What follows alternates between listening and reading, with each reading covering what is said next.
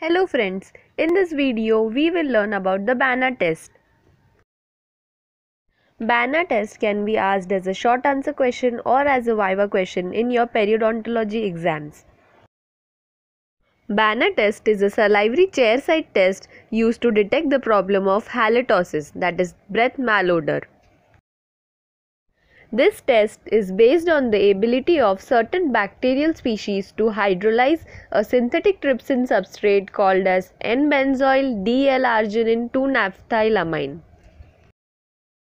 Thus, the abbreviation BANA used stands for the name of the trypsin substrate N-benzoyl D-L-arginine 2-naphthylamine.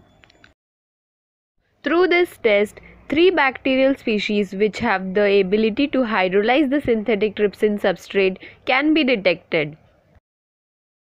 The three bacterial species detected by BANA test are Porphyromonas gingivalis, Tannerella forsythia and Treponema denticola. Now, one important point to be noted here is that the three bacterial species which are detected by BANA test that is P. gingivalis, T. denticola and T. forsythia are the subgingival microbes which are part of the red complex. These are associated with bleeding on probing. Thus, by detecting the microbes of the red complex, BANA test is also helpful for periodontal risk assessment in patients. So now we have learned two uses of BANA test. One is to detect halitosis and the other one is for periodontal risk assessment. Now let's see how is the BANA test performed and how are the results interpreted. The first step in doing the test is to obtain the sample for the test. If the test has to be done to detect halitosis, then swab sample from the tongue of the patient is taken and for periodontal risk assessment, sample of subgingival plaque is obtained with a curette.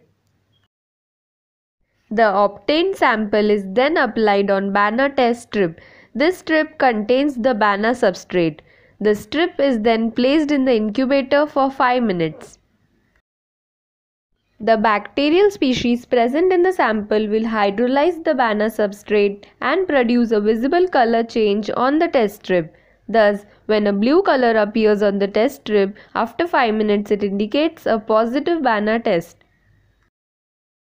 Please subscribe our channel Dento Friend for more such videos and do hit the bell icon.